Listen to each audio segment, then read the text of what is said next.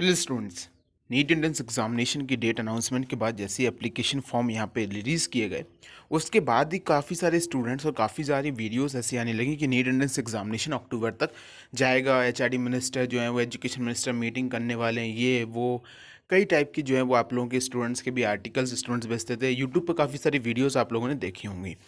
यहाँ पे live minute में डायरेक्टली एक आर्टिकल पब्लिश है जिसको यहाँ पे फाइनल आप कंफर्म मान लीजिए, क्योंकि एग्जामिनेशन आपका उसी डेट को होगा। और ये मैं आपसे पहले से ही कह रहा हूँ कि जब से नीट की डेट अनाउंस की गई, कि आप लोग इन सब वीडियोज़ पर टाइम यहाँ पर मत दीजिए। डायरेक्टली लाइव मिनट में एक आर्टिकल पब्लिश है, जिन्होंने इसमें यह कहा कि सेंट्रल गवर्नमेंट ने फ्राइडे को ये कहा है कि वो जितने भी कॉमन एंट्रेंस एग्जामिनेशन है नेशनल लेवल की जो एग्जामिनेशन है, उनको यहाँ पे ज़्यादा डिले या फिर उनको ज़्यादा कैंसिलेशन करने की कोई भी यहाँ पे उनके पास प्लान नहीं है, ना ही वो कोई ऐसा सोच रहे हैं। उनका डायरेक्टली ये कहना है कि नीट पीजी, जो कि एलेवेंथ सितंबर को शेड्यूल है, और नीट यूजी जो कि ट्वेल्थ सितंबर को शेड्यूल है, वो उसी हिसाब से, उसी डेट के अकॉर्डिंगली ये एग्जामिनेशन आपका कंडक्ट कराया जाएगा।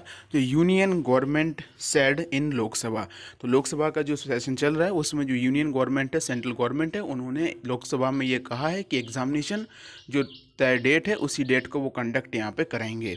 साथ ही साथ उन्होंने ये भी कहा है कि जो एग्जामिनेशन है, वो सारे प्रिकॉशंस के साथ यहाँ पे कंडक्ट कराए जाएँगे। कोविड की जो प्रिकॉशन है कोविड के जो प्रोटोकॉल्स हैं, उनको फॉलो करके जो एग्जामिनेशन है, वो आपके कंडक्ट कराए जाएँगे।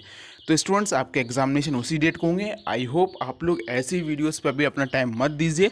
जो आपके पास बचा हुआ टाइम है, उस पर आप फोकस ज़रूर कीजिए। Thank you